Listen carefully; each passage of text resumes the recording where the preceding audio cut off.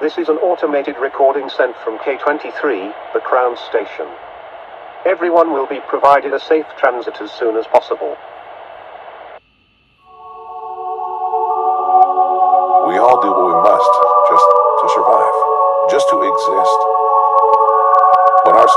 Started to collapse, I was prepared.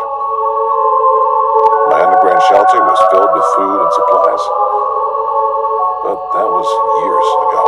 Nothing's left now. I have no idea what awaits me at the surface, but I can't stay here. All I know is that there's supposed to be an evacuation site to the east.